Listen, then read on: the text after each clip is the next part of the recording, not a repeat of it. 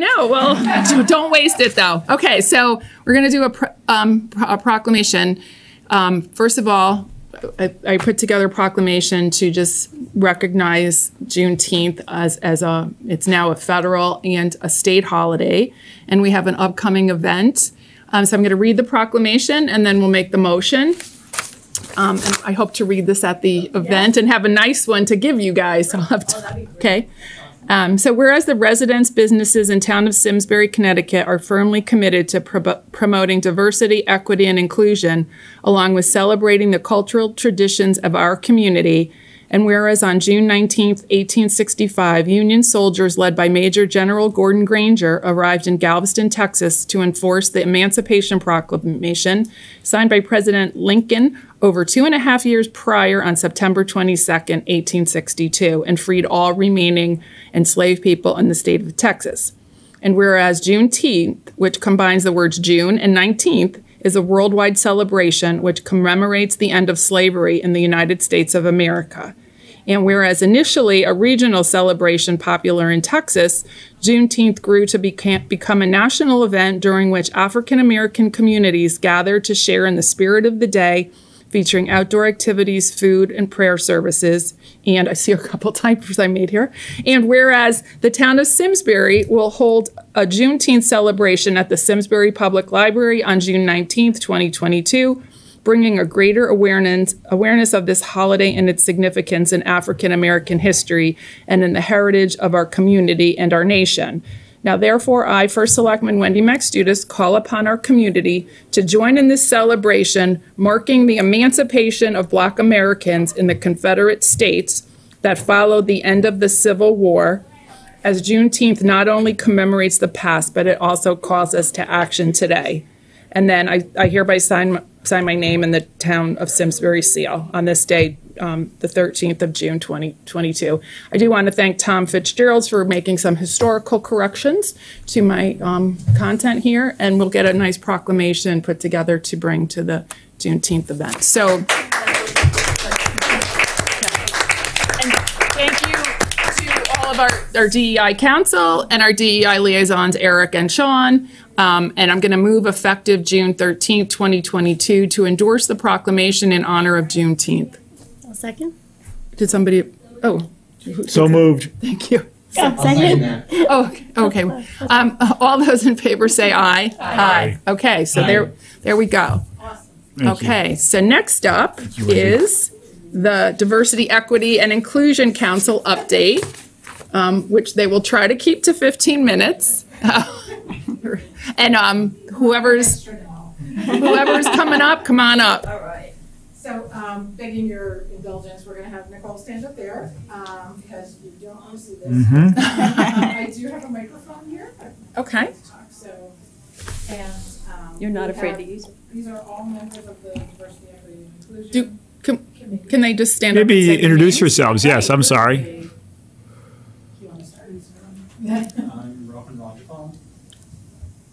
Ryan Hi. is our new student member, Hey, um, who you haven't actually appointed yet, but just okay. We're allowed here. Graduate every year. very Margaret Gentile. Yes. Mary Margaret. Alex Rieger. Hey, Alex.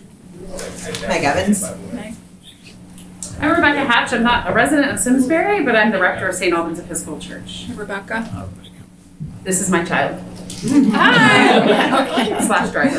Okay. We won't take that away from your time. So, and I'm Cheryl Cook. And Nicole Kodak. Thanks for having us, and we're gonna go. Just to give you an update, I think the last time we were here was, was it April last year? It's been a while. Wow. But you've had some business before you, so we've renamed ourselves, um, taking public input and very, very wisely. It's just now a mouthful, so we're going to Simsbury DEI Council and explaining what it is when necessary. All right. So our events, you can read it. I'm going to, for the sake of brevity, um, just say that we are this Sunday holding our Juneteenth celebration from 1 to 4 on the front lawn of the library. Um, thank you so much for the funding because we have put together, uh, if you've seen the flyer, and also if you could share the flyer, invite people and publicize it. The talent is really incredible for the budget that we had uh, for an off-cycle request. Um, it it's going to be really, really fun. Fitzgerald's is donating um, red velvet cupcakes and water bottles. We've got um, four different performers of music, drumming, uh, no dancing. Um, Ninkosi's going to do spoken word and be our MC, and he's always amazing. Um, we have tables with um, children's activities and education about Juneteenth because a lot of people just don't know about it. So um, it's going to be fun, and then we'll have our contact stay connected uh, sign up sheet if anyone wants to stay connected to our events. Um, looking forward to next year, we're going to probably move our Let's Talk, which were monthly um, during COVID. We have never had an in person one. This Sunday will be our first in person one. How weird is that? We've had 17. Um, but we are going to move to quarterly, and we're thinking about the concept similar to like a human library. We're calling it the People Library, where people with lived experience will be available to be checked out like a, a storybook um, to be to tell a story uh, about their lives, answer questions, and give people a chance to unjudge someone by learning a little bit about them. So we're thinking of that model for next year.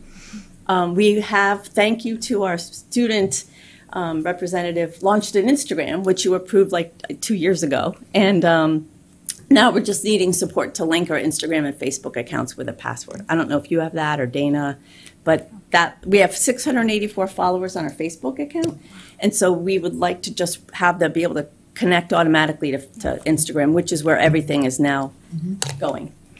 Um, so that's for events. Um, so as far as outreach goes, um, we have a separate outreach subcommittee, as you know. Um, we have spent our time uh, since we last spoke reaching out to community organizations. We have met with with many, um, everyone from the Lions Club to boards and commissions. Um, to the bike ped committee, um, everybody who wants to talk to us, we will talk to pretty much. Um, and I think it has been a great vehicle for spreading the word about what we do. A lot of people, when our when our name was Spirit, um, didn't understand what that was, so we got a chance to explain that and what we're doing. And um, many people have reached out to us through that process to become more involved. Uh, the outreach subcommittee is now supporting the housing subcommittee in outreach for our housing project, which you're going to hear more about in a little bit um, to help us with additional stakeholder meetings and to promote our public survey. Last thing on this slide, on the bottom, you see the image of the banner that's hanging across Hop Meadow, and that was a collaboration of two high school students um, and then an art teacher, which I I love. I know it's not like it was professionally designed. In my opinion, it's actually better because it breaks through and gets your attention, and they have parental permission for us to credit them with that. So um, the library is printing hundred bookmarks with the banner and the artist statement and their names on the back to give out at Juneteenth and we're going to give the banner to the high school um, when we're done. And then we'll see what happens next year with funding if we can repeat. It was the one big surprise on our budget, I will say. Um, I, I neglected to mention the Historical Awareness of Race series, which we did um, over five weeks in February. Um, the chair of our outreach committee, uh, Lloyd Huey, um, did that along with Carol Clark Flanagan. It's a wonderful series examining a lot of the historical um, aspects of race relations, and you can find all of them on SCTV. Um, It's really a very educational program, and it's taught sort of like a lecture series. It goes from one to the other with some continuity between them. Um, and we allowed for public comment on YouTube while it was going on, so we had some interaction with the public during it too. So it was a wonderful series, and I highly recommend it. Qu- quick, Sure, Chris. with like the metrics on video, um, I, I missed every single uh, presentation live, although some were uh, streamed. Um, but I have gone back, like everything else, I mean, and you know all too well how many committees you sat on and commissions you often caught them on video after. Did you, did you- have you seen metrics about, as far as, um, I would say incorrectly, downloaded or watched or viewed of, of the different, you know, the different episodes or modules or whichever? Is there a way to track that? And I'd be interested to um, know which ones caught people's attentions and spiked in, in, in sort of topic You know, wise. during our, the virtual ones, we could only tell by who was registered. Logged on, through the right, lib- right, The yeah. library hosted our registration for all of them, so we could see how many people had registered and how many people logged on, but other than that, we didn't track it Right. So to speak. But, but I'm wondering if we could go, it's a great question to SCTV. and Yeah, see they how will many have it. views. They Well, they do, have, know. they don't They publish have- it, but like YouTube, you obviously see how many views you have. I'm just curious as to which ones. Going through um, SCTV. As I said, we were in the library zone. so Yeah. a lot of Okay, that- just curious as to, it'd be an interesting metric. They're to- doing a presentation. Point of information. Uh, I was upstairs televising the police commission meeting, and I apparently missed public audience, but I'm able to just do public. You can audience. email it to us. I'd like to do a presentation. I'm- I don't think Could do we- that, Please? No, I would we've, appreciate it. um, we've already started I our know, but present. I would appreciate to get special exception. Um, I'm not gonna make one, Joan, Can I have because it at the end of the meeting? we don't normally have it at the end of the meeting. Some groups do, but we don't. So if you want to email your report to us, Oh, that's, I don't want to email it. well, I'm, I- I'm post- sorry, but I'm or gonna I'll continue. Post it on t- uh, Twitter and Okay, Facebook. I'm gonna and- con- continue and, with uh, our presentation. Twitter, Joe Thank you. And Facebook. Yes. Go ahead, Nicole. Okay, sorry, thank you. So next slide, we can Next go slide, right ahead. Thanks. All right, so our housing subcommittee update, you know, we got the grant from the Hartford Foundation for Public Giving for a one-year I miss public audience. process in um, inclusive housing and public engagement. Are you supposed to talk in public audience? Excuse me, we're in the middle of a presentation. Excuse me, but Dr. Renaud. He was not here when we did public audience. I'm sorry, we were already into the agenda. I don't need to explain you, that. Dr. Rinaldi. Thank you for coming. So you can go next. Sorry, Nicole, and sorry, DEI Council. Um, so this is an overview. Cheryl, do you want me to talk through it, or do you want to talk through our overview of what our activities will be for the year with the public housing engagement thing? Um, you can just see we're, we've developed our work plan. We're now holding stakeholder meetings. Um, we also have a survey going, and um, then we have held one of our educational events for the public on the housing basics um, in Simsbury, which was not problem solving, just reviewing what are our codes, um, what is our POCD, and George McGregor was three weeks into the job and came and presented. So kudos, kudos to him. And, um, We were thrilled to see every town planner, including him, uh, presents the missing middle housing um, as sort of the way forward to look at. And so we wanted to go right to the source, and we'd already contacted Opticos um, and asked them if they would maybe come and be our um, a community forum facilitator because they know so much about missing middle housing and how, how towns move forward. And um, they're It declined. they declined their their plate their bandwidth they don't have their band, the bandwidth for it so we're now in the market for another expert uh, facilitator for the community forum this will probably be late october and this is where we bring all of our um, learning um, both from the surveys and the uh, qualitative stakeholder meetings to play and have people come together in large groups probably at the middle school um, like we did with the first forum that launched spirit. And the, the outcome we're looking for with town officials and um, a very deep representation of uh, residents, especially people that don't normally engage, that we don't normally hear their voices. We're trying to start to make progress on a shared vision for what is housing in Simsbury going to look like. What do we want as a town? So um, our, our hope is that by the end of the year, we'll have a report to the Hartford Foundation and to you with our findings. But um, we're looking to really engage and involve you from the community forum forward. Can I ask a question? Chris has. Um, I didn't want to interrupt, but are you working with the Planning Commission at all because they have that affordable housing plan? Um, remember, we talked about last year we were going to try to have a task force, and the the work got transitioned to you guys. Is there a joint effort there because they have a plan that had to be submitted recently to the state? And um, okay, Well, we started um, this work when we were awarded the grant from the Hartford Foundation. Okay. So all of the, any funds we're using for this process is coming from that. okay, Uh, We have a fiscal agent in the First Church of Christ. They also have a small housing group that, that works on this. And Yep. one of their, we have one of their members on our housing work group. Um, We would love to, to coordinate with the planning commission. Um, They are certainly, that and zoning are, you know, probably one of the more um, important stakeholders. Uh, Jackie Vados is on the housing committee and she's on zoning, so she keeps us sort of liaisoned with them. I don't believe we have anybody from planning who's talked to us or. Not yet, not yet, but we haven't finished our stakeholder meetings. So we are, you know, we're only halfway in this process now. Yep. Um, as Nicole mentioned, we had our first educational event, very well attended. Um, we, we have ongoing discussions with different, um, experts who come to talk to us. Um, we had two developers at our last meeting coming to talk about a possible project, so.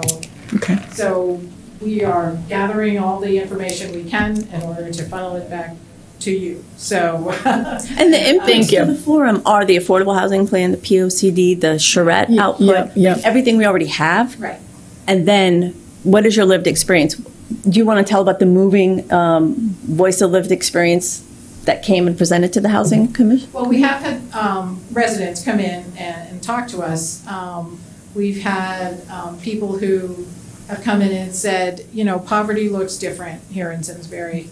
And um, this was a, a white woman, you know, married homeowner who is now struggling and, and told us her story. And her story sounds a lot different than perhaps a younger person who, who we had talked to who is, you know, looking for an affordable rental, looking for, you know, they're in very different periods of their lives.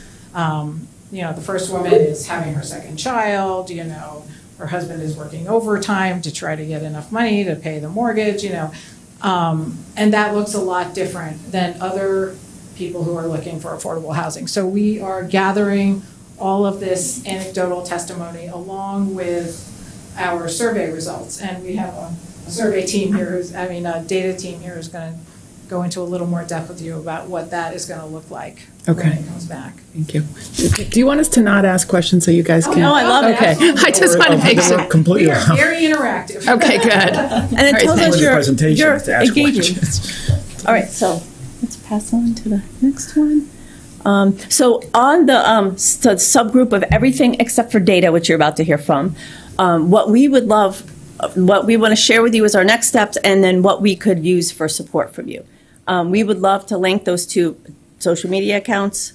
Um, Juneteenth, we have our first um, proclamation, not declaration, which is going to be amazing. And so you guys are going to attend it. Next year, looking forward, we're working with um, the Meadows, uh, but we're going to, again, need off-cycle funds to do a Juneteenth. Um, and we'll obviously put in a request for 23, 24 for Juneteenth 24. Um, this year, we are finding um, just that we are um, pay, we're, we're paying about half market rate for each of the talent that we're getting. Um, so And do we want to say why? Well, and part of it is because a lot of the performers who you saw on the flyer um, really personally felt that it was important to bring this to Simsbury. Um, We have a reputation and it was important to the people and so they are taking, as Nicole said, about half of their normal fee to come and do this because we feel like it's a, a message and a celebration that, that needs to be had and um, to broaden the acceptance, and that's why we're doing it. So we are benefiting from that this year. Next year, we will not. Uh, we're, as Nicole mentioned, we're gonna partner with the Performing Arts Center next year, so that's gonna be a whole different. We're gonna sort of be the junior partner next year. So they're, which is awesome, and Yeah. they're they're looking to have national scope bands every 30 minutes. Like it's it's going to be a really cool thing. My hope is, and I'm talking to Missy about this, that we can have some of our talent from this year be the warm up act on the big stage for the national people, because they've invested in us a little bit this year, and I'd love to see them come and see how far we're growing.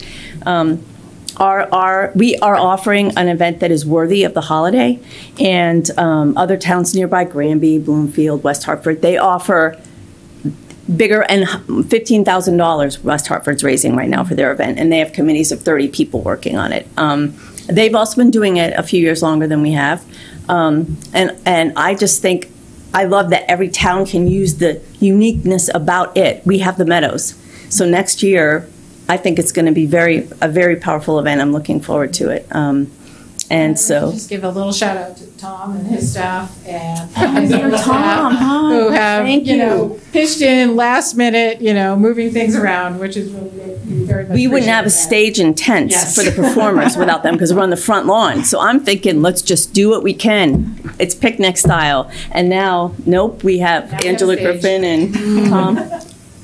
So I hope you can come. I think it's going to be great, and I think it's going to be a worthy event. Um, and then, um, did you you had a question about the budget request, like the category? Oh, I did. Um, that's sort of a technical, um, request, which Maria can probably discuss Okay. with us at a later date. Okay, but, cool. You know, just as to which, where you wanted us to be, Mm-hmm. because I don't think Kristen wants us in there. So, You mean to move out of social services, you're saying, well, from a budgetary line, budget-wise, from a line I- I item? think Yeah. we're gonna have to have a conversation about where we belong with that. Yeah, we, we do have a separate program budget for um, boards and committees. Um, so that would probably, I would think for So something like event you would based know. or, I or just something wanted of that to- nature. To say we're gonna need some separation, I think, to, Yeah. to make this work. Yeah. Oh, okay. Um, wanna bring Dan? Or- Outreach? Do you want to talk about? Outreach, we are, um, as I said, we're gonna continue in the fall with PTOs. Um, we have, many of our members are reaching out to their faith communities that are both in and outside of Simsbury so that we get some different perspectives, um, in our survey group. Um, and we've, we've already talked about what's going on in housing. So I think we are going to turn it over to our data subcommittee, and Rebecca Hatch is our chair there, and she has some data committee members who are going to help her present. No.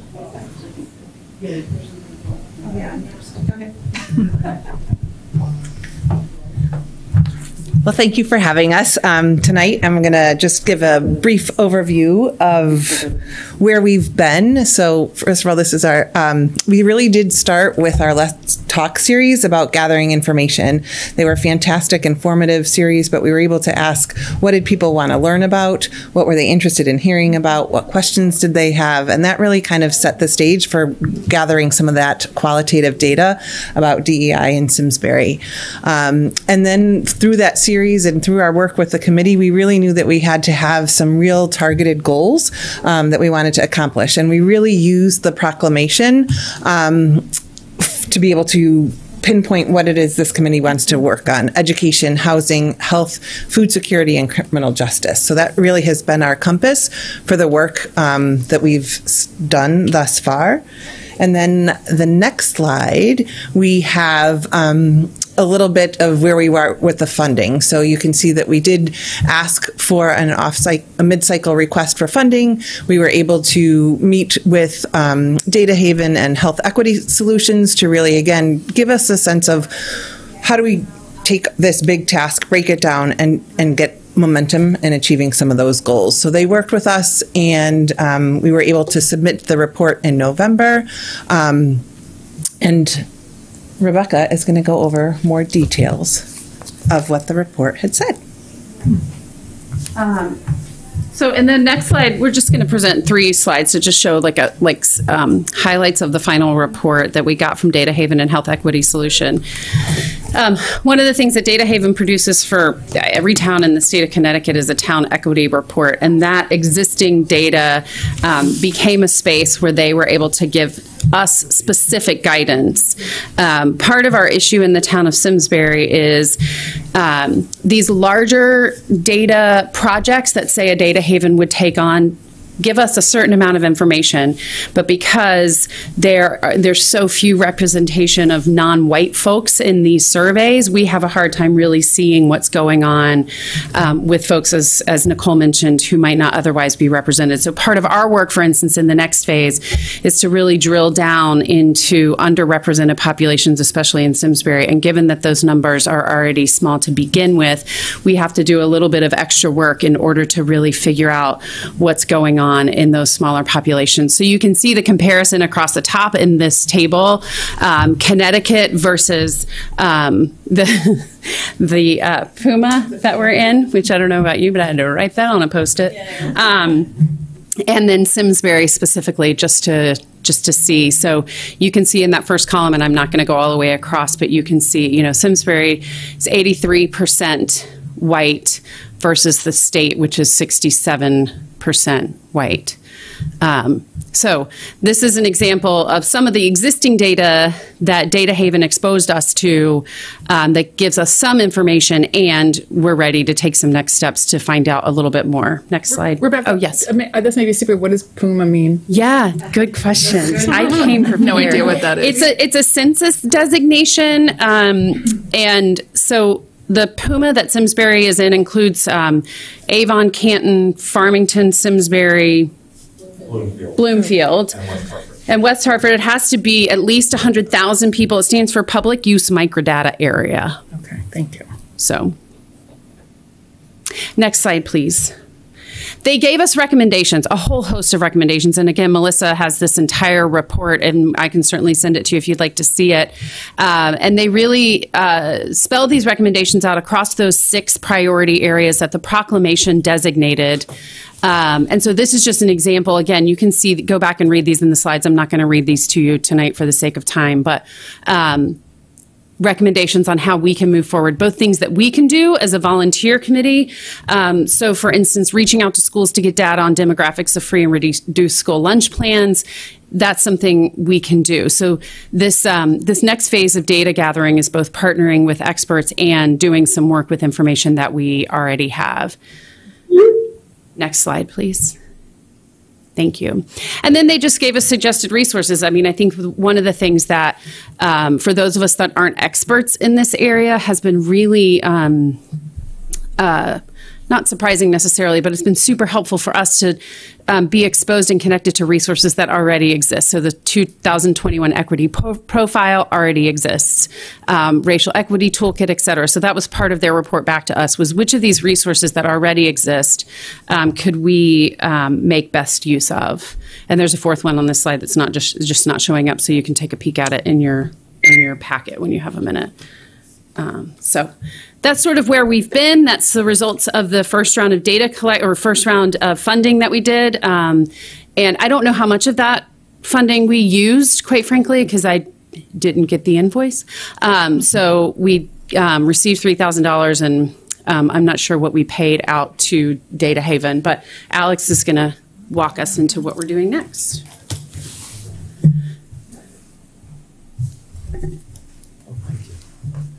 So um, I think that's a really good picture, and it paints a really good picture of how complex the whole issue is, right? Diversity, equity, inclusion relates to, and this is some of the data we're trying to figure out. All sorts of things, right? It's socioeconomic status, it's race, but it's also, and one of the things we're trying to collect data on as well through kind of our housing surveys, how you participate in town events, how you feel in the town. Um, and this is, I don't want to say impossible data, I'm just want to really say it's very a nuanced picture, right? Um, and so we are we're, we're doing what I think is a, is a pretty good job with the resources we have. And part of that means staying connected to local people, local communities, local events. It means working with groups that have um, done similar work in other towns. So one of the starting places was Glastonbury, which produced a really large DEI based report, and we got to tear that apart and say what did we really like from this and what we didn't. We're also looking pretty far and wide, um, all the way to Decatur, uh, Georgia, which I'm not sure I pronounced right, and I'm not sure I've Decatur I have ever pronounced right. I've made that same mistake now publicly on the record, but like four, four or five times in our in our own meetings. Uh, informal conversations. We also have uh, and I think this is kind of cool. We're creating our own surveys. So, basic survey around, for example, September Feast. Uh, we received and analyzed 218 responses, and we're up to about 250, 260 responses on a housing survey as well, which I'm in the, in the process of, of analyzing. And that stuff is just producing really interesting data uh, data around race, data around economic status, and data around how that stuff plays into how you feel about being a member of the Simsbury community. Um, so I think that that's kind of a really cool, cool work we're doing. Oh, I got to go up and down. I, I just, I think I did. I managed to figure it out. So um, I'm the only Gen X that messed up an iPad. also on public record, right? Okay, where we're. All right, so what I'm looking at is not there. Next slide. This is not two connected things. Got it. Where we're going. Okay, so we've already received the $22,000 for um, funding for a large scale data collection project, and we've spent the last three months or so writing an RFQ, figuring out exactly what we want, really detailed things. For example, we want, uh, because we are the DI Council, we want the vendor that we're hiring to represent our values, right? So one of the things we talked about is we'd like to see if we can find a vendor within our price range that has a diverse uh, board, for example, or employs a diverse uh, range of researchers, for example, right? And so really t- taking that stuff from the top down has has produced a lot of work, a lot of questions, and, and we've we've we've created what I think is a pretty good RFQ for that. Uh, we submitted a draft to you, I think, uh, last month, right in May. Um, yes, and uh, we'll be trying to move forward with that as soon as possible. Uh, next slide. Can I just And- ask, quick, mm-hmm. th- this is the funding from last year for Yes. the, for the program, so we haven't used it yet, is what I'm hearing, right? Yes.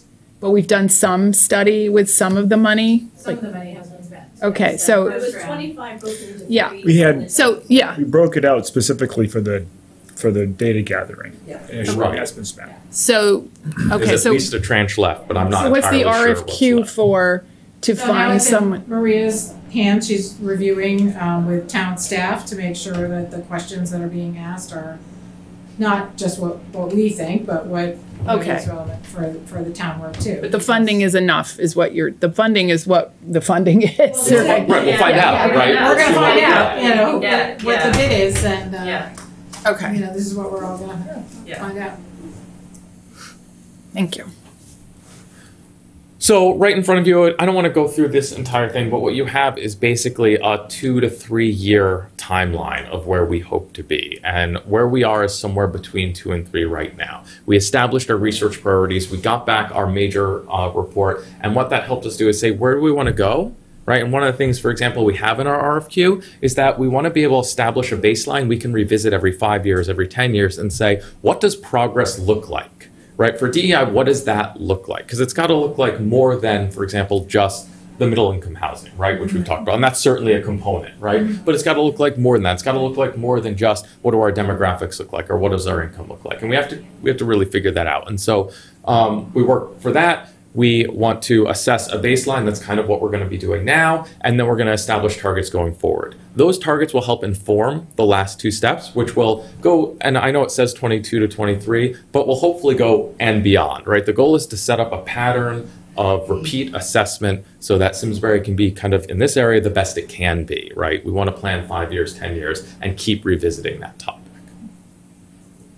And the goal is, is to allow you, as, you know, the recipients of this data, to inform policy decisions based on what comes back. I mean, what we're gonna see is how residents feel about all Can I- these, all these different things we're gonna ask them. Yes, Can I those- ask you though, how, you know, if, because if we're actually using this data, um, how do we know that the data really represents the residential population? Like, how are you getting it out to a broader group of people Well, that's why we're to make sure professionals to Yeah. do that, so that it they're- best? It's their job to make sure represents- that we're properly sampled, um, Right. So I And then give can, you, mean, can people, f- one person fill it out multiple times? And how does all that play into data? That's not, that's exactly what we're depending on experts to do, is to Gotcha, figure out okay. how to make that's sure, why A, we're that hiring a we're, company, yeah. Perfect, okay. uh, that we're, yeah, all those good questions. Exactly. And I want you to know we're, we're really thinking about this. For example, we did our housing survey, and our initial draft had about 150 uh, responses, right? And we had responses that were representative of our town population when you matched it up, not just about census data, but about, for example, ACS, the American Community Survey data, right? And we're doing our best. But then you find out that even though we might be representative, if you have 150 responses, you're talking about like three ish African American people, right? For example, that's one of the things we talked about. Is that, even if it's representative at 100 people, if Simsbury is 2% black, for example, is that fair to really draw some sort of policy conclusions from? That's, you know, let's wait, let's see how we can collect data for more income levels, more demographics, more, more um, socioeconomic levels, all these different sorts of things from, we talk about house, house, uh, own, house owners versus renters versus right? And we're trying to make sure that we really can collect this and collect it well. But the issues you raise, these kind of methodological issues, that's where we need a professional. There's one more slide, um, But it's not. that's right.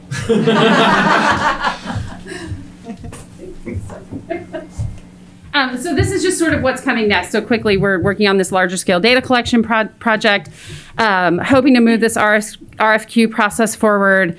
Um, we'll be, as Alex said, establishing these baselines, and part of that is working with the experts and whoever we consult with to help us do that.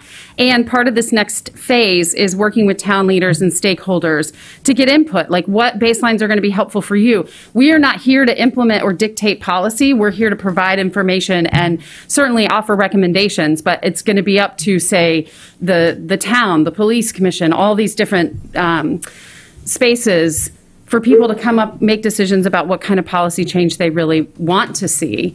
Um, and then, of course, we'll continue to need funding going forward. If we really intend to go back and assess how well are we doing with these, are we moving the baseline at all? In order to be able to do that, we'll have to bring in, you know, folks to really help us be able to do that work well. Our intention from the beginning is to maybe um, take more time to do things and to do them as best as we can, given that we're all volunteers and except for Alex, um, don't have expertise. no, there's a handful of us that have expertise in this. And we're trying to do the best we can. And part of that is taking the time and making sure that we have the experts come alongside us that can do this work well so that we're not going back and saying, oh, wait, we looked over this and a year later realized we didn't get enough information from this pocket of um, the population of the town. Um, that's all I have. Thank you. I have a question about the, the information gathering. So is is it mostly surveying just people that are residents of the town? Like, or, you know, because if part of the problem is Perception. reducing barriers to coming in, and then you're only getting information from the people that are already here, how do you try to capture information or experiences from people that feel like they're struggling to break into the community? Right. Exactly. And we are, those are two different aspects of, Right. of our data collection. This data project, the, the main one that, that we're paying for, um, is Simsbury residents. Um, what we're doing with the housing, um, series is going to include people who do not live in Simsbury.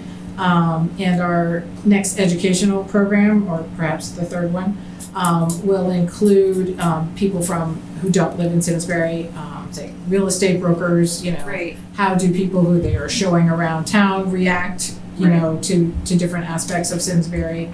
So we are going to see some of that through Okay. the housing project. And just so Um, you know, I mean, we are keenly aware of perception issues. We talk about it a lot in Yeah, our work and are keenly aware that, to your point, we're only getting information from people who chose to live here. Why did somebody choose not to live here? That actually may give us more information that we need, right? Right. Um, so, great question. Thank So that's you. why we're reaching out to, um, like some of our members go to churches who are not in town.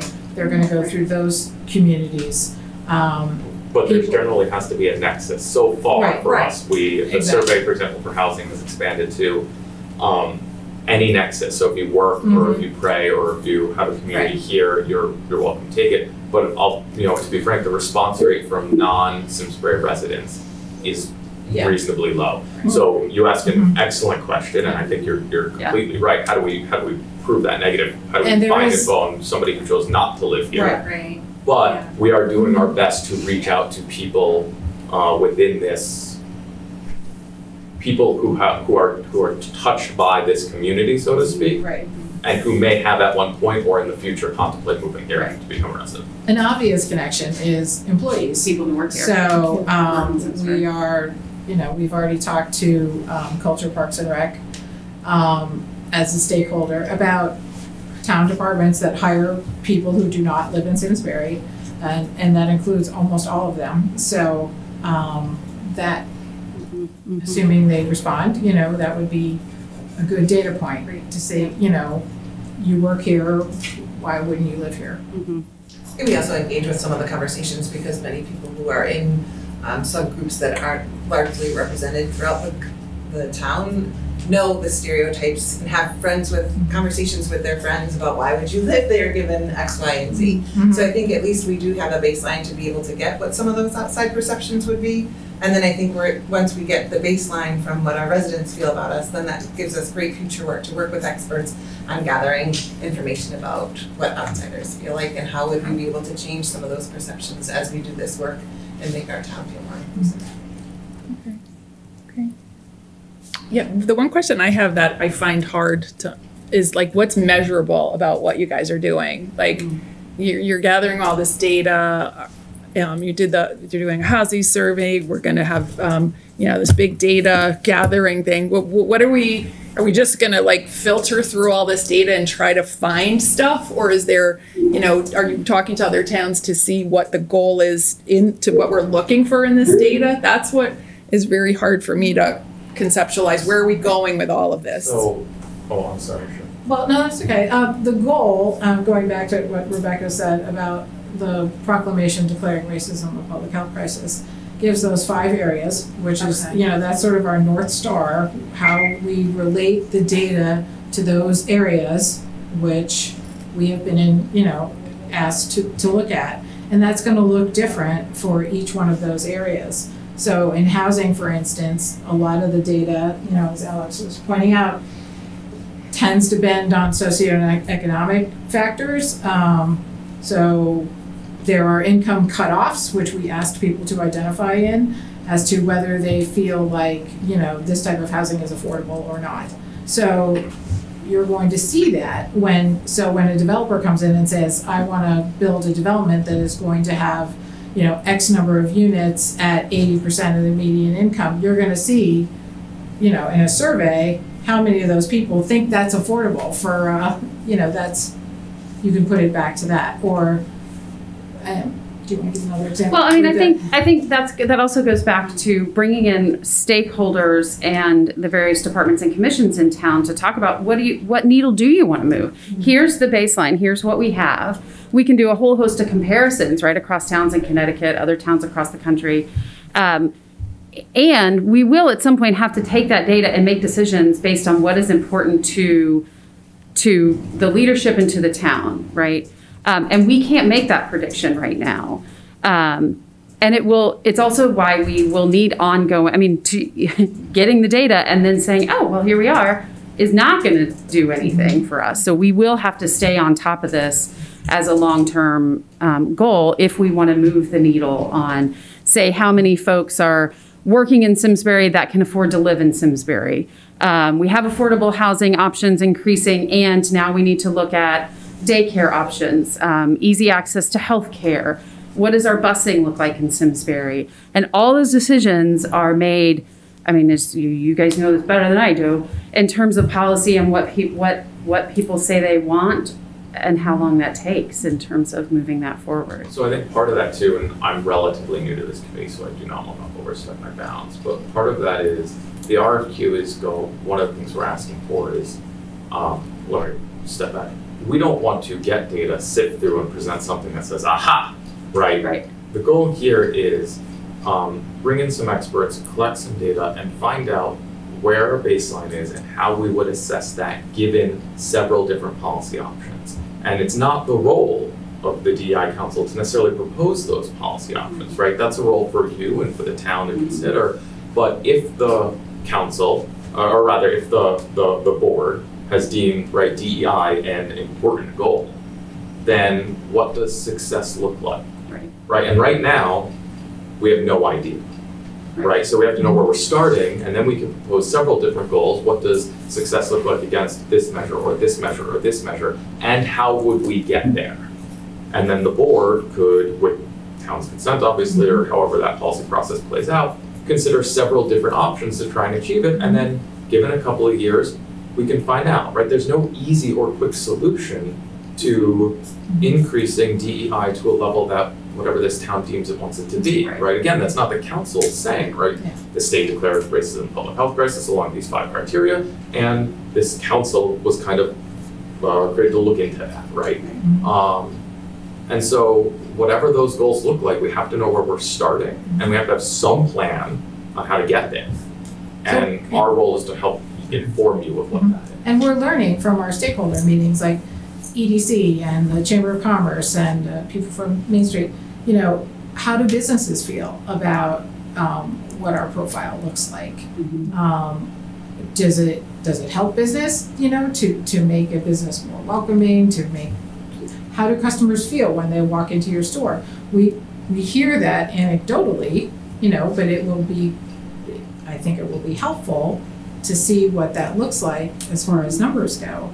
We have, we get all sorts of anecdotes about grocery stores and, you know, drugstores and I think, I mean, Walmart maybe, maybe I think, I mean, uh, one of the things I'm looking forward to out of, uh, uh, mul- multiple things, but I think the data, one, of the uh, fuel, you know, co- cost of fuel, cost of, cost of living concerns, and food insecurity, which is one of our, ours on there. Um, I think that can help us to a certain extent frame what, some of the work we do with social services. Correct. I mean, sharpen up some of the stuff we do with Kristen's team. Correct. Um, and, or understand better, are we applying things correctly or do fund things differently? But, so that's one of the things I think can help. That's a good Uh. I, I have a complete, I'm gonna, as you know me, Shirley, you know me too We're well. I'm gonna, already I'm gonna, 40 minutes in here. I'm gonna say something.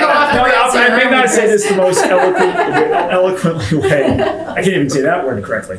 But, um, so t- t- just a far, look to the side, you know, I think, um, this is purely educational from my, my standpoint. And, uh, and it could, your answer could be entirely subjective and anecdotal. So that's, don't worry, there's no wrong. Um, when I think about so the so when I think about the events, and I've missed a lot of events recently uh, in town sponsored events, uh, mostly either travel or uh, uh, sports. I'm going to miss the Juneteenth event this Sunday because of of, of an obligation. So I don't see who's turning up to the events, and I'm curious that.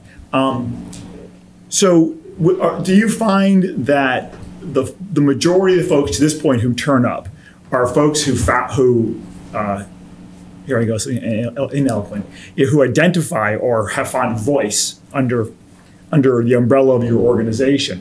Are those the majority of the people that are turning up? Because I think a bigger win would be people who don't find a voice mm-hmm. under that umbrella and who come, right? I mean, that to, to a certain extent. So, are you having? Are you? Is there a transition? So, I haven't been to one in the past. I don't know. Like the Pride event, I wasn't there, but where was the audience a one that here, there you go, Chris, making a stereotype, a person that might be identified with that organization, or folks actually who don't have an identity, entity, who don't identify by the organization, but are there to learn and share in the experience. So, is it anecdotal at this point, or I'm gonna let Nicole give you an anecdotal event, uh, Well, it it differs by event, actually, and who, who, uh, what, why people come. How they usually find out about it is through speaker publicity, like when we've done the panels in the library. That's been the, and, and again, it's all been from COVID, so now we're just starting to transition back into real life. Um, the Hispanic Heritage event um, that we had twice now, um, the first event was um, a number of people who are new to the community or at Ethel Walker. There was a, a couple of people that worked there, and um, some young, some younger people, and some ol- um, you know, a little bit less young people, I'll say. and they were looking for each other to connect with. I want to find other people who, like me, share my heritage and want to cook or find restaurants in the area or whatever. So that was interesting. And the same thing happened the second year we had it. It was very interesting. Yeah. Um, there was a young couple who had just moved into the apartments down there. Yep. And they're of Mexican heritage, and they said, you know, one of the comments was, we came just to see if there was anybody else. Which is a huge part of this. I mean, I think it's a both and, right? I think what you're getting at is the distinction between are we educating people who may find themselves generally outside of these spheres, or are we just providing an echo chamber for people who find themselves inside? Inside, yeah. And I think the goal is a little bit of both, right? Because if you're trying to if you're trying to amplify spaces that are inclusive, offering a space that somebody who isn't often included for someone who isn't often included is is extraordinarily important. The education piece for somebody who's like, I don't want to have anything to do with the Pride celebration, that piece is also extraordinarily important. So our work kind of tr- tries to do a little a little bit of both. And to your, I mean, again, we could probably go on anecdotally about who's who's coming to the events. It's something for us to continue to pay attention to. Yeah, so I think the bigger win is I hate to say this again, when you run out of people who identify with the organization, that they're maxed out and they're there. And the bigger win is when you have multiples, of, multiple X of those people who don't, and they're sharing in the experience. So I think Right, this that's- Sunday will be the test We're to me, see. the 1st Mhm. test, because A, it's the first time we're doing this. B, most people probably still won't know what it is. There'll be signs and stuff, but you're gonna have a band on the lawn of the library. Like somebody's Facing- gonna walk by. Gonna see it, knowing. there's gonna be a lot of people have, like, if there's people driving around or whatever, they can, it's free, they can just come in. Then one of their tables will be education about Juneteenth. If they choose to stop by and look at what is it, I don't know about it. Um, what's this flag? What are the meaning? What is? Oh gosh, that's really thoughtful. Why they developed that flag? It's red, white, and blue because they're Americans. Oh, okay. So I mean, the more you get into it, like there's an opportunity if people want to take advantage of it, but it's not going to be in their face. Red velvet cupcakes. Why are there red velvet cupcakes? There'll be a little flyer on the table. Why is the color red important? Why is red food important? So there'll be a chance, and then uh, will also be filmed by SCTV and photographed by the Camera Club. So you know we will have um, people be able to see it after. Yeah, well, I, I like your comment earlier about uh, Juneteenth in the sense of uh, it's a, it's it truly is a new it's a it's a it's an educational campaign for something new, right? And I I was talking to my kids about this that you know as a New male to a certain demographic. Right. Yes, you know, and- and- I mean, as a male, I think I know everything about everything, right? So that's, that's I'm pretty good at that. I, I go into every situation like that, right? So, uh, so with my, and, and generally, as a, you know, you, as a parent, you, you've, you've been through education. You've been through an education system that sort of cut, covers all the bases of, of history to a certain extent. And you think that you can probably, you know, help the kids walk through whatever module they're going through because you've been through it. This is the first one where my kids have given me far more information about the event or the, the significance of this situation than I did, and I have. Well, and we're learning too. I mean, Yeah. as as we hear these things, um, we asked some people who came to our program, you know, who were of a- an ethnic um, group, what was the first thing you noticed when you came to Simsbury? And they said, the grocery store. And we said, well, what about the grocery store? And she said, well, she said, why is it that there's an international food aisle? And in the international food aisle, there's, you know, Chinese food, Thai food, whatever. She goes, but Italian food is not in the international food aisle. And I just looked at her like, uh, just you have a whole aisle that's Italian, you know, pasta, pasta sauces, all this, but that doesn't say international food. But the taco mix says international food. And she's like, well, why is that? And we all just looked at each other and went, uh, uh, why is that? You know, I that's. think that follows form with every grocery store. But that's something that, you know, even though you do know everything, you've probably never thought about that. That's Do we, so uh, do we have any more questions from the board or Eric, just so we can like, Hey, you hey, guys? Wendy, can you hear me okay? Yep. Yes. I'm, uh, I'm, you know, coming in from the ether. Um, hi, everybody. As I just wanted to say, as, as liaison to um, the DEI Council, um, I'm glad that you presented to us tonight, and I hope that as this work continues, because I know it is ongoing, that you'll continue to come, you know, with these periodic updates so that the board stays engaged.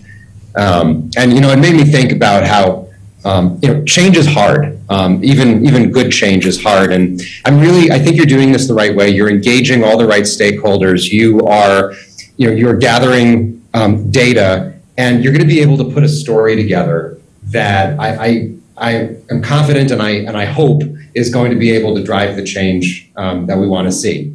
Um, but I think being able to tell that story is going to be really important because change is never easy, even when it's a positive thing. Thanks, Eric. Okay, thank you guys for coming. Thank you. Thank Um, Okay, so um, we're going to move to the first selectmen's report, which I'm going to pretty much chop into like a tiny bit.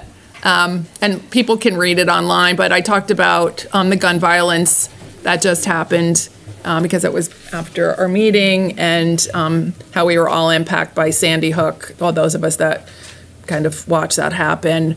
Um, and to the people that are hurting in the, in our community, we have a social services department, guidance counselors, friends, family, anyone you're comfortable talking to about that. I think we should all be diligent looking at warning signs of potential acts of violence that may be preventable.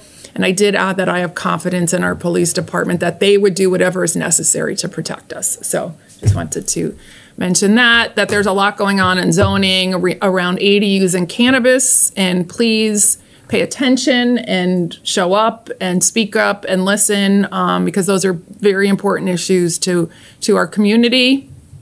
Um, I did a little bragging in here on something I just earned. I'm not mentioning it.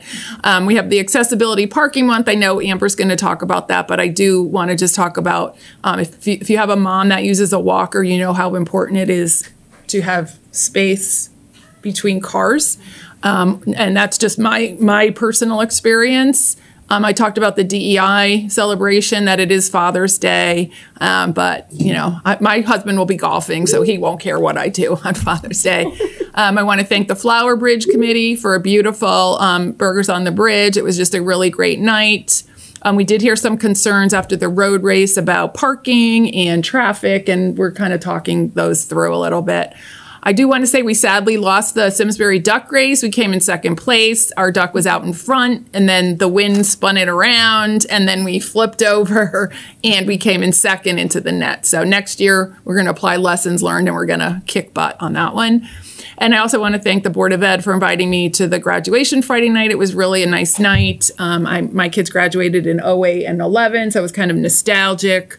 Um, but the speeches were really nice. And I, I did end with the world is a tough place right now. We're all facing challenges, but these kids seemed ready to get out there and take it on. And I just hope that we can all do the same thing. So that's it for me. I'm going to turn it over to Maria for her town manager's report. Great, thank you. Uh, good evening, everyone. Um, just a couple of quick points under our coronavirus update. Um, Hartford County did recently transition to the CDC community level for medium. Um, so that does change their recommendations for masking and things of that nature. Um, we have provided a link to the CDC explanation for those various uh, levels of community transmission for um, anyone who might be interested in that.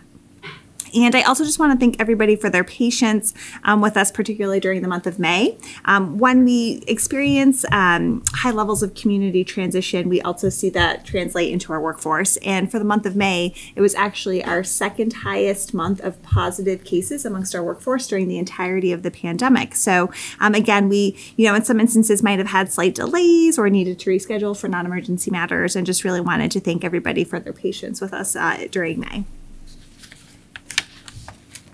And a couple of quick items under department news and notes. Um, Culture, Parks, and Recreation is asking our residents to please remember to clean up after your pets um, when you are visiting our parks and trails. Um, this does continue to be an issue for us. And we do ask that you please take your waste bags home with you or dispose of them in an appropriate receptacle. Um, from the library, um, this is a great service um, our staff is providing. They have resumed providing passport um, application appointments. Um, so you can contact the library information desk to schedule that. Um, we are unable to process passport renewals, so this is only for new applications. And from Public Works, um, they had a very successful uh, regional household hazardous waste collection event this past Saturday. We had over 600 households participate from our region, uh, including Simsbury, Avon, Canton, Granby, and Farmington and Suffield. Uh, the next collection event will be on October 15th, but a big thanks to Tom Roy, Kevin Clemens, and their team for, for hosting that successful event. Did you wear a hazmat suit? We did good. We, we sorry. let the crews do it. and we, uh, I don't know if you've been through it. It's a pretty organized event. Yes, it is. impressive. Yeah. Yes. And uh, from social services, um, we will be offering a free babysitting course for youth uh, in our community ages 11 to 17. Um, that's going to be sponsored in conjunction with the American Red Cross. Uh, the one day course will be on Monday, June 20th. Um, it focuses on first aid, making good decisions, and communicating with parents uh, amongst responsibilities of babysitting. Um, folks can register their youth by contacting social services. Um, space is limited, um, and participants will need to attend for the full day. Um, we'll also be um, providing a certificate for those who complete the course and lunch as well. And from the town clerk's office, this is some really uh, wonderful news. I'm excited to share. Our town clerk, Trish Monroe, um, passed her town clerk certification exam. So, congratulations are in order for her. She is now officially a certified Connecticut town clerk. Um, in order to accomplish this, she had to sit through a number of classroom training modules and take a final examination for that. Um, she's just been a true asset to our office since joining our team. We're really proud of her. Um, and especially since June uh, is the month to register your dogs, um, we would encourage folks to stop by and, and say congratulations. Thank you. Okay, thank you. Okay, now, oh, now let's see, do we have any liaison or subcommittee reports? I'll Point to Heather, anything you want to report? Um, I do not at the moment. Okay, I'm gonna, Amber? I'll talk about the parking Oh, okay. uh, under, under Oh, that on the agenda? Yeah, Okay, yeah, Chris, yeah. anything? Eric, have any reports? No? Okay. Did, can you hear me? I don't, I don't know. Um, I don't know if he can hear me. Okay, so then we're going to move on to selectmen action.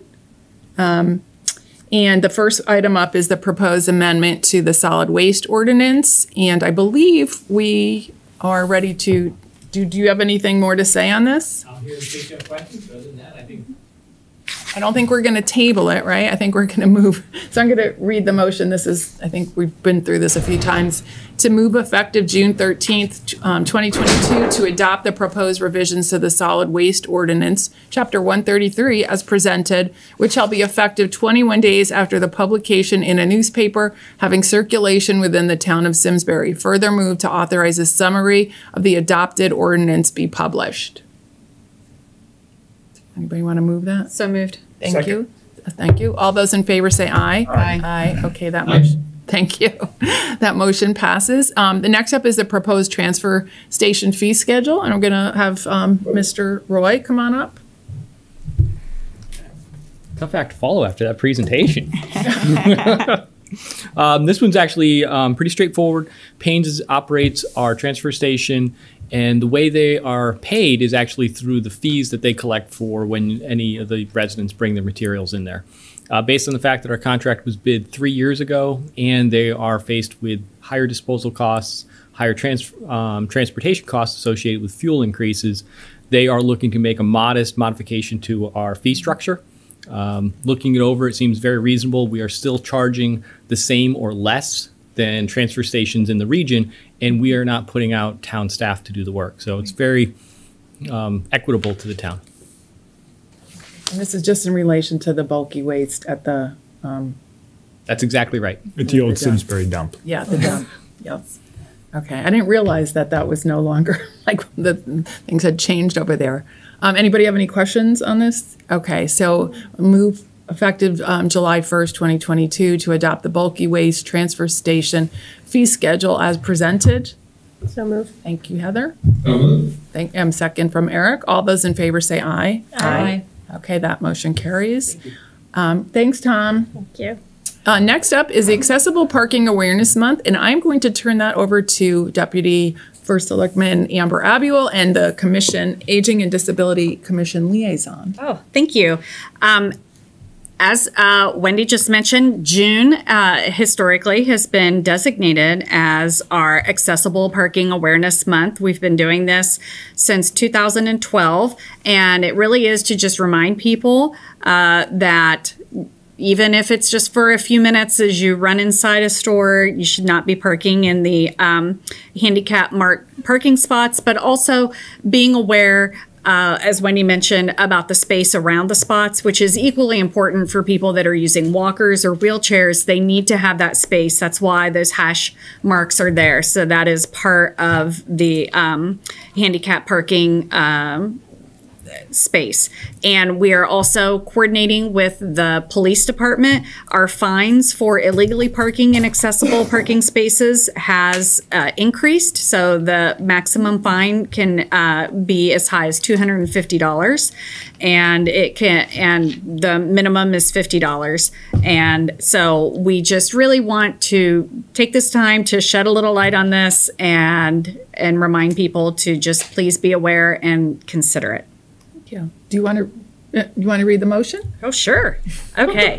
so move effective June 13th, 2022 to designate June of 2022 as Accessible Parking Awareness Month in the town of Simsbury. I'm going to move that because I never get to move anything. I'll move it. Anybody want to second it? Anybody second? Second. Okay, it's been seconded. And all those in favor? Aye. Aye. So moved. Thank you. Okay. Okay, thank you. Thank you. like mixing things up a bit here. Um, okay, so the, the next item uh, is gonna is um, reappointing Mike Barry as Emergency Management Director effective July 1st, 2022, and I will let Mar- Maria speak to Mike and his and his skill set. Great, wonderful, thank you. Um, so under our charter, uh, the position of Civil Preparedness Director, which is a bit of a, a dated term, um, does require um, appointment um, from the Board of Selectmen following my recommendation. Um, what's interesting is that it also states um, that it would be a term of two years. So it's hard to believe that it's now been about two years since um, our previous AMD, Kevin Kowalski, uh, retired from service. Um, and I just uh, cannot say enough positive things about Mike. Mike, thank you for joining us uh, this evening. Can't see us, but hi, Mike. You're very welcome. Thank you. He Good has, thank you so much. He has served our community with such care and dedication um, over the last two years. Really was such an important member of our team to help us with so many of our efforts in response to the pandemic. We also encountered a number of very challenging storm events. Um, as you might recall, we had Storm Isaias create quite a bit of damage with significant power outages. We've had flooding. Um, whether it's a storm event, the pandemic, other emergency management related events. Um, again, Mike has just demonstrated an incredible amount of knowledge um, in the field. And again, has just really just taken such care of our community. Um, he's been a great member of the team, and I, I just I can't say enough um, positive things about him, and just really appreciate his service. We, we all appreciate you, Mike, and we, we did, uh, I just want to comment on the, um, the, the test kit distribution. That was where I met you, and that was with working with the town, um, DPW and Tom and that whole crew. That was an amazing, um, organized event. So that was my first introduction to you. Do you want to say something? Thank you very much, but uh, just know that this is a uh, total team event, and I am just a small part of the uh, whole dynamic of the town, which is fantastic. So I appreciate the kind words, but just know there's a whole uh, team of people. It's not just me. Mm-hmm. Yep. Okay, anybody else? Any comments?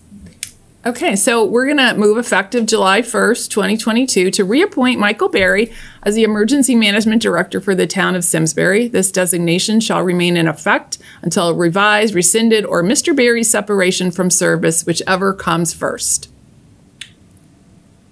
So moved. Okay, Chris? Second. Heather, second that. All those in favor say aye. Aye. Aye. Okay, Mike, welcome back to the to the fold. Okay. Um, Thank you, Mike. Thank you. Thank you. Thank you. Okay, the tax refund requests move effective June 13th, 2022 to approve the presented tax refunds in the amount of $764.61 and to authorize town manager Maria E. Capriola to execute the tax refunds. So moved. Thank you. Second. Second. I'm Heather. Um, all those in favor say aye. Aye. Okay. That passes. Giving little hints. Okay, so this one is a mouthful. Authorize the Board of Education to apply for a Connecticut school construction grant for the partial roof replacement projects at Tariffville Elementary School and Central Elementary School, referral of the projects to the Public Building Committee, and authorization of preparation of schematic drawings and specifications. Um, Maria, do you want to take this one on and Sure, I'll, I'll start. Um, Okay. and I do believe that we were going to have um, somebody from the Board of Ed who was going to be available for questions in the event that um, that you have any. But you are probably familiar uh, with the series of resolutions. Um, in the past, we had to do this for the Latimer Lane project as well as the Henry James renovation.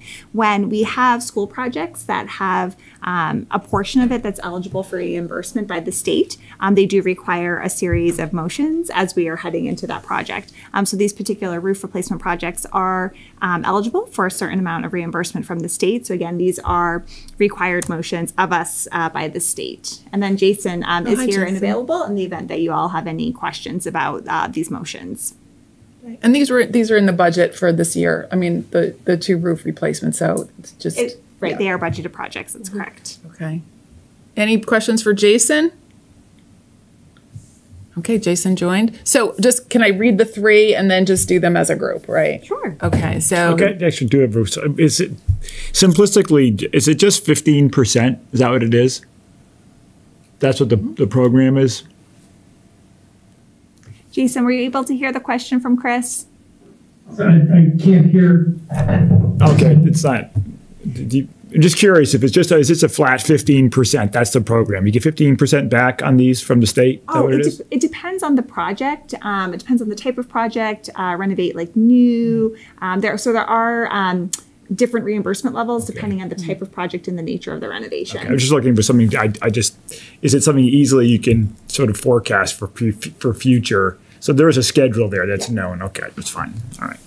I'm sorry, I missed the first part of that. What was the question? That's fine. Jason, we're all set. I was able to answer the question. What kind of pizza do you like? Okay. All right, thank you, good night.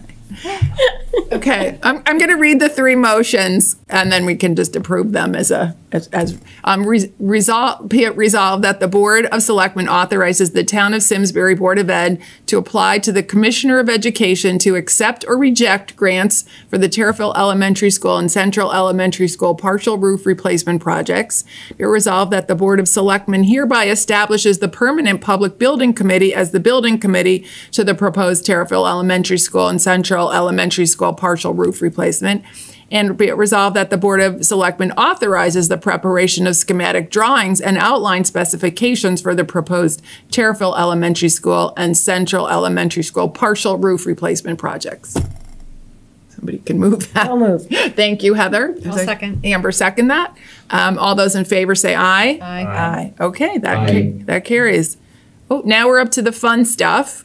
The supplemental appropriation for the golf equipment purchase. So I see Tom's on here and Maria's here, and I'm gonna turn it over to the experts again. Sure. Would you like to take this, Tom? Sure, sure. Uh, For those of you who are familiar, we have the golf surcharge maintenance fund. That fund was set up in, I believe, 2016 to cover expenses similar to this.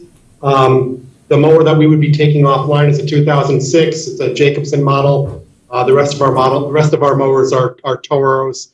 Um, And this Jacobsen is very difficult to get parts for. It's currently our backup mower. um, In case the in case the Toro we have now goes down. Uh, The one we have a- an opportunity to buy here is a, is a very lightly used mower. Uh, It's in great condition. Our staff has, has already inspected it. And um, it would become our frontline mower with our current mower becoming the backup. And, uh, you know, we had, repl- had intended to replace this in five to six years out, but that was under uh, the previous superintendent's capital plan. And, and this, uh, the current equipment is failing quicker than we had expected. And as you all know, there's a very difficult uh, time getting parts for these older mowers right now, older equipment right now. So we'd appreciate your support and uh, moving this forward. Sounds like a great deal. It is a great deal. Yeah. Um, Okay, I, anybody have any questions on that? No, 100, Okay. 100% Yeah. support this. Right. Okay, so move effective June 13th, 2022 to approve a supplemental appropriation for the purchase of a golf equip, golf course mower in the amount of 29500 with funding from the golf maintenance equipment surcharge account. So moved. Thank you. I'll second. Thank you. All those in favor say aye. Aye. Okay, that passes. So go get your mower.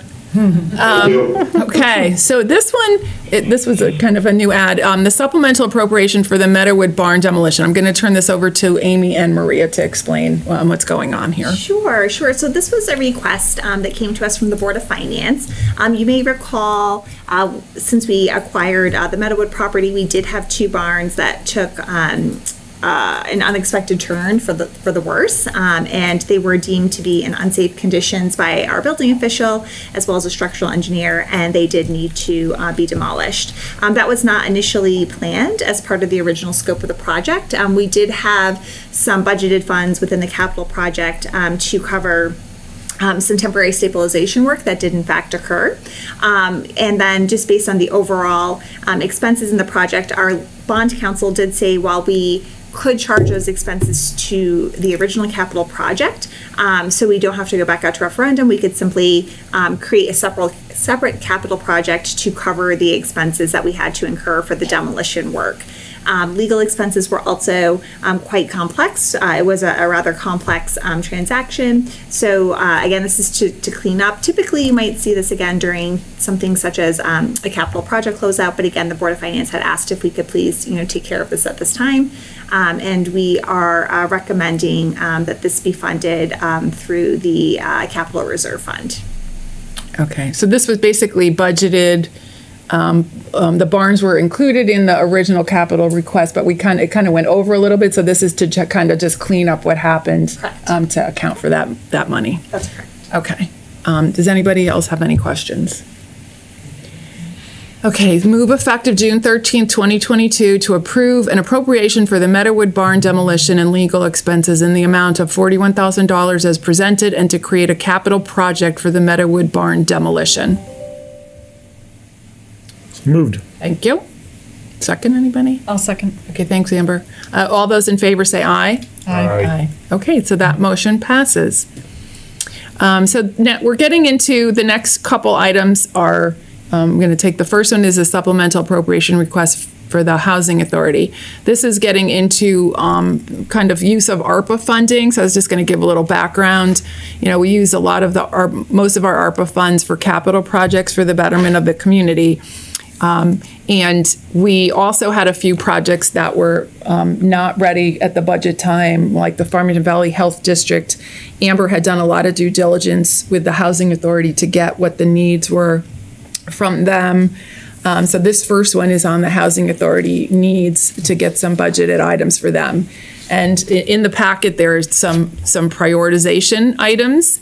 And what the, uh, the Finance Subcommittee decided, you know, again with Amber being a great liaison to housing, um, came to us and we approved and all agreed that we would give $100,000 to pay for some of these priorities. Priorities. Um, we also will have some sort of follow up to prove, demonstrate that the expenses were used for the work that we're we're having done here. Um, but um, Amber, do you want to add anything to this? Um, I would just add that, um, you know, we're, we're very thankful for all the work that the Housing Authority does. Um, it, it helps service some of, um, you know, our more vulnerable population here in Simsbury. And the Housing Authority has been under tremendous pressure from the state with having funding cut. And the Housing Authority is also responsible, you know, they do not receive funding.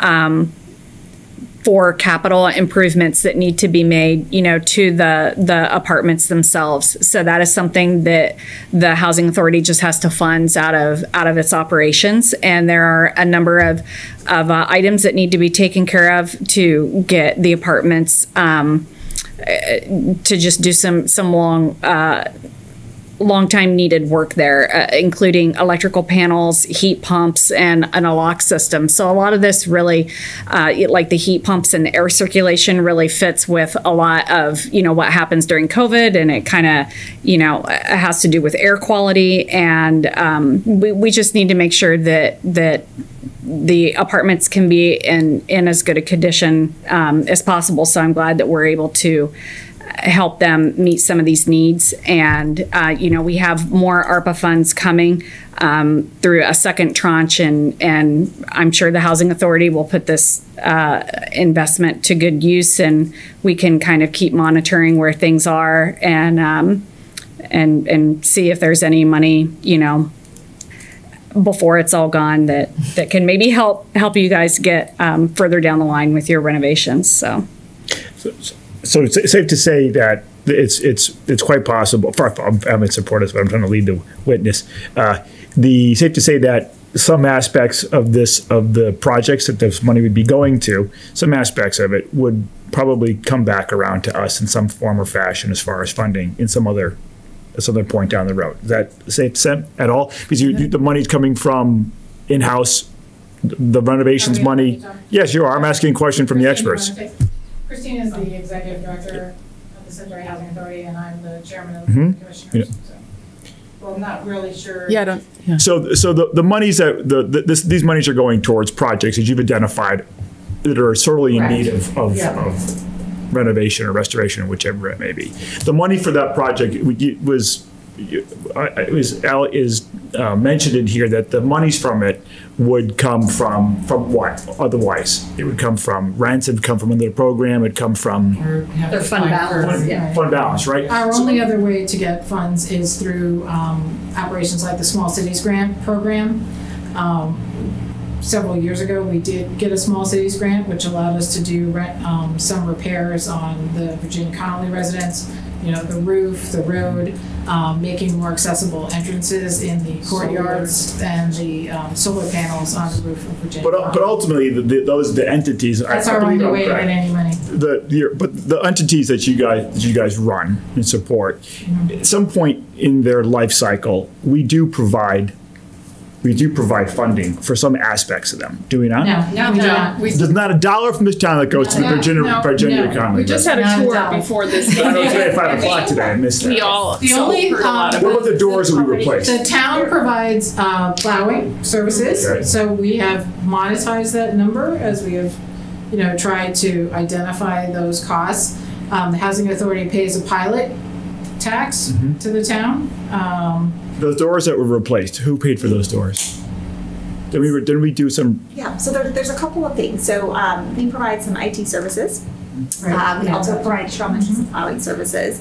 We also um, make the payment on their behalf for their sewer use fee. Um, so that's sort of again sort of direct dollars that come out of our operating budget on an annual basis to support the operation. In terms of capital, um, as Cheryl mentioned, the small cities program, um, the town has to be the applicant, um, and then we are a pass through to them. So okay, um, well, I stand sometimes- corrected, I apologize. I thought we, I thought we, I thought, because There's I, no ongoing funding from the town in, in any regular basis. So when we apply for a small cities grant, as Greg said, it's the town who is the applicant. And, and that, do- that takes work, that's, Sure. that's staff time and, s- and, uh, but kind of- that's our only, I thought for sure we paid for some doors a couple of years ago. I- I- Maybe thinking of the small cities grant. Okay, no, nonetheless, Yeah, I came I think, I, I just still think it's a, I think it's a, it, it, because this has been through the finance subcommittee and they, they hundred, they hundred percent support the usage of this, these funds for that entity, I think that that's all I needed to hear. Heather, did you have a comment? I, I do. The small, the small cities grant, um, what kind of funding amount does that, does that, um, usually provide? And is it something that you can apply for more than once? And is it project specific? How does that work? um, all of those things. Yeah, and it's com- it's competitive. So you're competing with, like she said, it's a, it's through the town, so it's the town getting the grant, even though we may be the recipient. So it's, it's a competitive bid. So the state will say there's, you know, ten million dollars available for housing authorities this year. So every housing authority puts in an We application. have, to- we have the best pack, we need the best Small- packet put forth. And then, you know, it's whatever you get. You don't always get what you asked for. So if you ask for a million dollars, you might get five hundred thousand dollars and then you just. Are we, are we always applying though, or do we not have? applying, so- We, so we apply every time it's an op- We got opportunity? one large one, as I mentioned earlier, and then we got a smaller one, and then we got totally shut out. Right. That's a. And I, I would like to say that like the total amount that you submitted that's on your priority list right now for some of the capital improvements is almost seven hundred thousand dollars, and we're granting you hundred thousand dollars to be able to take care of the top most emergent things that need done. So we're not we're we're not really coming close to, you know, uh, I would Those- like to- electrical panels were identified on an audit, um, both by the state and by our insurance company. So we're now paying extra insurance because Mm-hmm. of those electric panels. So it has really become somewhat of a, an urgent matter to. Yeah, that was and- explained to us um, earlier today, and I just want to say I. Um, we really appreciated the tour so much, and it was really, uh, you know, it's very evident, you know, seeing the need there. Um, Uh, And these, uh, you know, most of our residents are, particularly Virginia Connolly, have lived in Simsbury their whole lives. These are not people who just showed up, you know, to live in Virginia Connolly. There are people who live, who live there who now find themselves in circumstances where they can avail themselves of our services. And we are grateful that we are able to provide those services and, and, and we feel like we've done as much as we possibly can with the limited funds we have available. Um, you know, every, we can't just go and raise rent, you know, I mean, to do that, we have to go through a process with the state. Our budget goes to the state and they have to approve it. So, um, these things don't just, just happen. And obviously, the, the people who, who rent from us have limited means to begin with, so. Okay. All right. So, um, so the next step after this, if we move it forward, it'll go to the Board of Finance. Um, I'm going to move effective June 13, 2022 to approve a supplemental appropriation for funding for the Simsbury Hou- Housing Authority in the amount of $100,000. So moved. Thank you. Amber. Second. Um, Heather? Second. Too late. Eric, you can have the You're on a delay, Eric. or maybe Heather spoke too softly. Sorry. Um, um, Hey, Wendy. yeah? Wendy, real quick, before, before we vote, just one thing I wanted to get in. I know we Sure. said once before, but I, I really think there is really no more appropriate investment of our ARPA dollars than what we're talking about right now. And I, I hope that we're able to contribute um, another, uh, another set of funds during the second tranche. Okay. Um, so we, we're just waiting to vote. We have motion and a second. And so the, all those in favor, um, say aye. Aye. Aye. Okay. that Aye. Motion Thank you. carries. Thanks, Eric, for the comment. Okay, so there's, there you go. Thank you. A- A- Amy will give you your check as you as you leave the room. Thank you, Amy. You're welcome. Thank you. Okay. Thank you all very much for coming this evening. Okay, I'm trying to get This need more notice next time. Okay, so the next item, I'm going to go through this one. This has a long history. Amy, I think we're probably the only ones from the history of this. Um, this this was a this was a, one of our first projects with the ARPA funding. This is about um, an appropriation for 501c3 nonprofit. When we first started with ARPA back in a year ago, um, we were really limited in how we were going to use it. We were trying to figure out how to use it, and one of the ideas was to have a grant program for nonprofits to help them recover, get you know, with the pandemic. That was our original ARPA work group, Sean and Jackie and I. And then we were going to move it forward in January, and there were some issues, or we needed to clean up some stuff. And then the final rule came out, which totally turned things upside down on how you could use the funding. And it was, we're trying to keep in the spirit of using the funding, but it made it a little less stringent. So um, we've been looking at this. This was another one in that list, along with the business program. What this program um, right now is well, we're coming to first ask for the amount of funding, and we'd like some input on this. We have um, we're setting aside $150,000 out of the first tranche, which we've already planned for, and allowing 501c3 nonprofits to apply with an application that was created originally for the first program, um, where um, 501c3s can you can you can see it, but they say their need, what they're planning to do with the money, COVID related. But we've kind of made it more recovery since we're, I believe we're recovering from COVID at this this point in time, and they can apply for up to ten thousand dollars. Um, the original application had a lot of it was not subjected subjective at all. It was going to go through Amy. Now what we're planning to do is take um, have a window of a month, open it up for applications. They can apply for up to ten thousand dollars those are going to kind of get screened through the finance subcommittee for um, well for amy for the what's on the application and then it will come through the finance subcommittee then we're hoping to deliver a packet to the board of selectmen where we look at these and hopefully we can they all meet the need they all pass subjective criteria and we can award these funds to recover or um, pay for expenses from covid um, a couple things that we, is not included in here. The application is included in here. Um, what's not included in here, and we that's still a next step, is to figure out what kind of follow up we want to do. Um, we I think we want to just get a blessing from Bob D on this to make sure that um, the process that we're going through, if we need you know, follow up commitment, like with housing, we're going to ask to see that they use the money appropriately.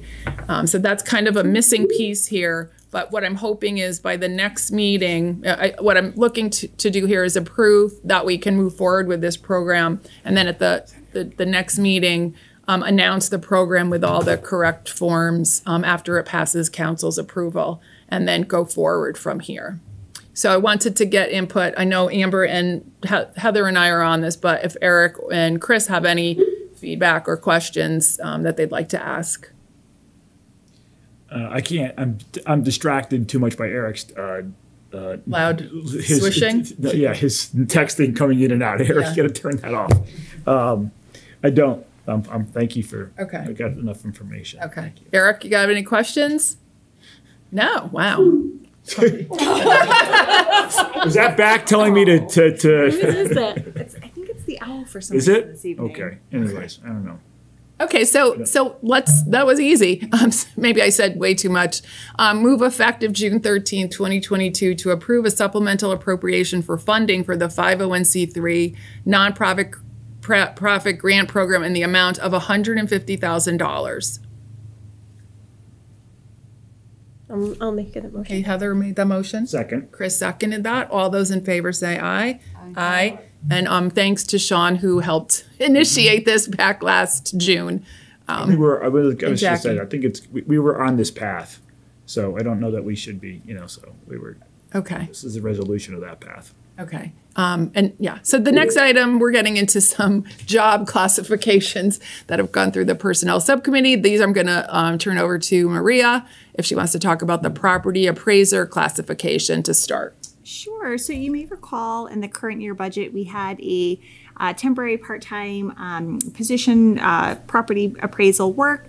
Uh, but given the labor market for appraisers um, in Connecticut, particularly in the municipal space, um, we were not successfully able to recruit um, somebody part-time temporary. So the budget does uh, for upcoming for July 1 um, does in fact include uh, the funding for this position to be uh, full time.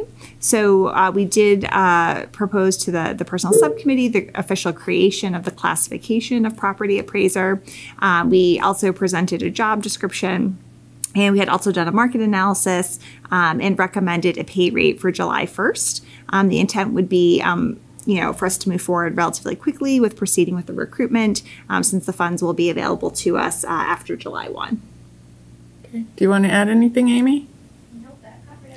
Okay, and this was the position that we, we could potentially, or could help us get three million dollars, um, right? So this, so hopefully if there's any assessors listening out there, they want to come work for the town of Simsbury, now's your chance. Um, to move, anybody else have any questions?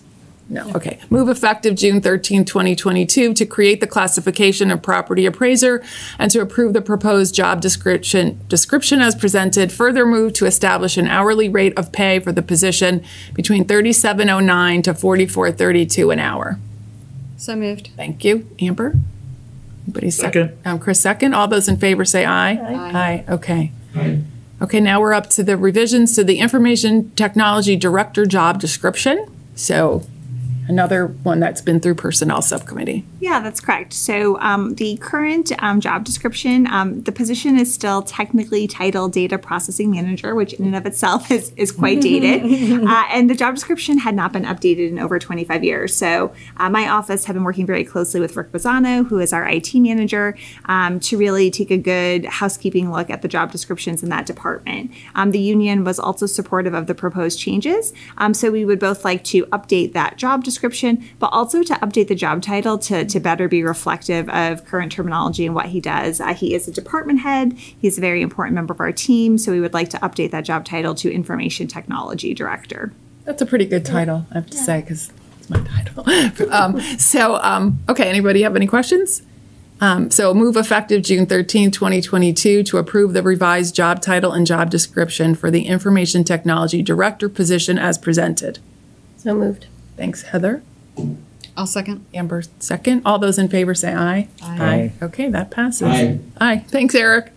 Okay, and the youth and family social worker classification. This was the item. This was I just was going to emphasize that this was the temporary um, model. What was it called? Not model. I forgot the word we were using.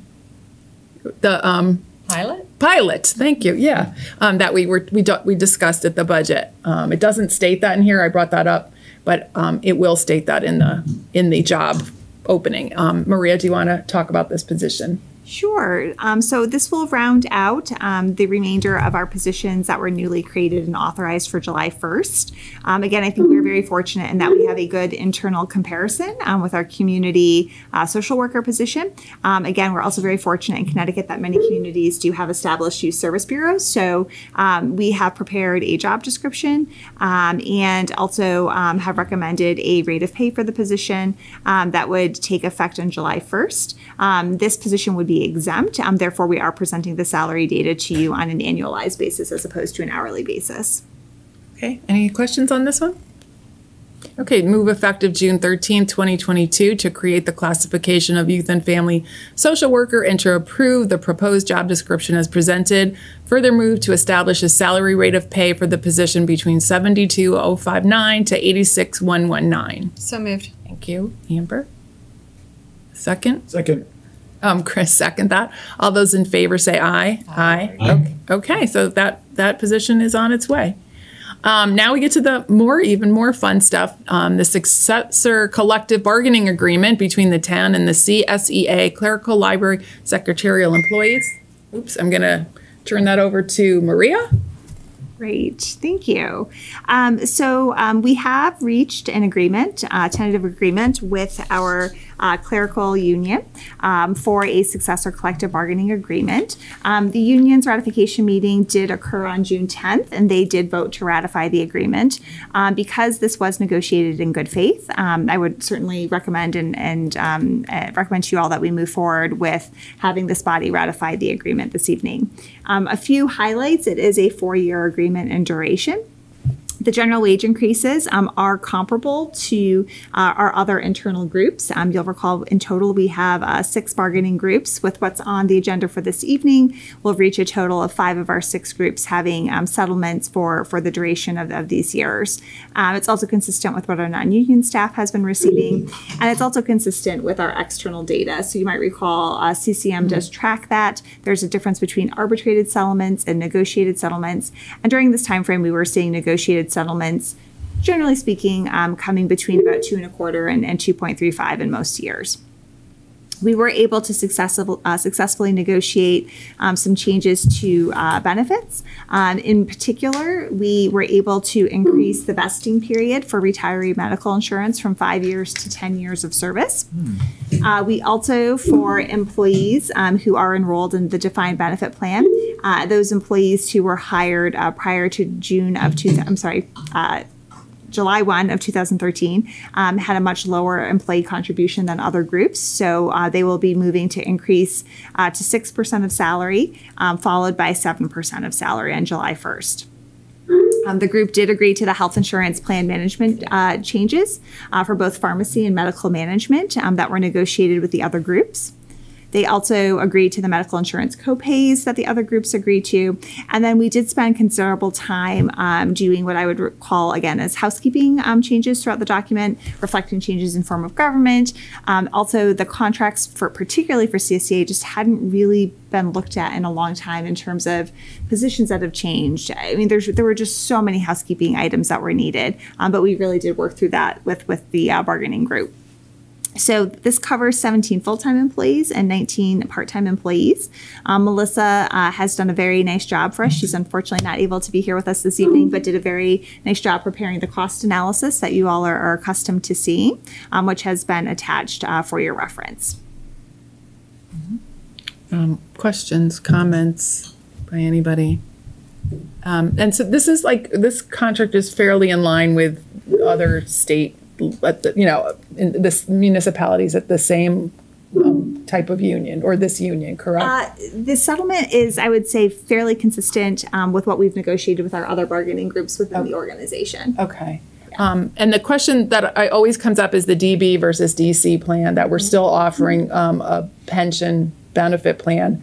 Um, and there's been question as to the financial, like, but I think the work's been done that both are equally beneficial to the employee and the town. Is that? Yeah, and we'll go over some of this this evening um, under our collective bargaining strategy. Um, but our actuaries um, did do a thorough analysis as part of the negotiation process for this group. Um, for the three CSEA groups, um, some number of years ago, it was negotiated that employees would have the option to participate in the DB or the DC plan.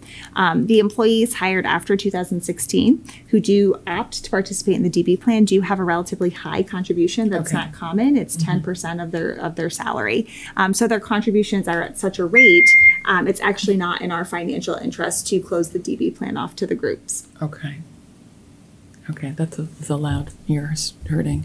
Um, one thing I did like that I saw in here, I just want to comment, was section five point eight that the work from home that was a new that looked like it was a new section in here. Um, just that there is an option for remote work. I thought that was, you know, looking ahead. And I was surprised by the um, that the board of selectmen has to approve a leave of absence over two months or something like that. Right? Just thought that was good. we get to do that. Okay.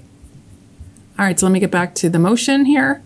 Um, so move effective June, this is the motion for option A, correct? That's written in here? Yes, right. So you have three options, and I would recommend. Sorry, I'm just going to scroll back up.